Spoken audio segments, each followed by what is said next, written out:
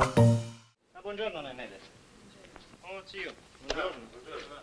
Beh, sei in ritardo, eh? Aspettavamo ieri. Ho avuto molto da fare. Ma adesso mi tratterò qualche giorno. Sì, bravo, bravo.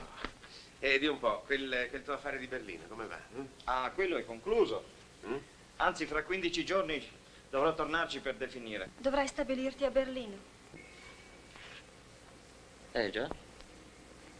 Ma potrei anche cedere l'appalto. Mi hanno fatto delle ottime offerte. Ma sai, non ho ancora deciso. Ah, siete qui, buongiorno. Oh, Max, Come va, zia? quando sei arrivato? Poco fa. Ciao. Ciao. Oggi sono molto contenta di me. Faceva un freddo, un freddo, ma c'era un'aria limpida, una luce, dei colori magnifici. Ora vi faccio vedere. Vedrai, vedrai, Max. Sei fortunato, Massimo.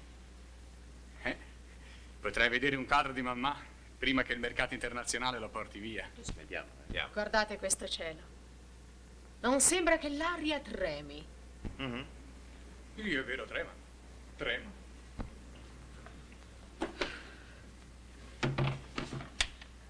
A proposito, Giovanni, questa sera Elmer Strill riceve nel suo studio. Ci vanno dei critici d'arte, dei commercianti di quadri. Elmer Strill ha tanto insistito. Mi vorrebbe presentare a Kenabier, il grande commerciante parigino che è qui di passaggio. Non ho potuto dire di no. Ma ci andresti da sola? Eh, diamo in un ambiente d'artisti, che c'è di male? No, puoi farti accompagnare da Nennele. Io? Già, sono un'educanda, ho bisogno della sorvegliante. Mi deve accompagnare Nennele. No, Nennele non ci andrà. Cosa dici tu? Ti domando scusa, papà, ma tu non conosci. Cosa? Avanti, spiegati. Sì, quella non è una società. da- Cosa vorresti dire? Non è una società rispettabile?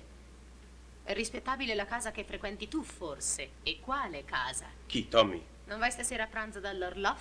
E chi è questa? È una bella... Non ho domandato a te. Chi è questa signora Orloff? Eh? Oi, non rispondi?